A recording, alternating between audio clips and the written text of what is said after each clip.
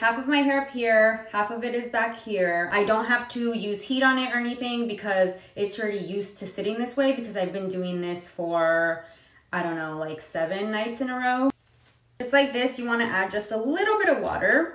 This is your first time hearing about this and you're like seven consecutive days, what is she talking about? Then go look at my pinned video and you'll get to see what I'm talking about and how to start doing it. And just like a vibe in itself, like the bumper bangs. Pin it back here so that it stays in place. Add a little bit of water, not too much. And then we start the rolling process. Go.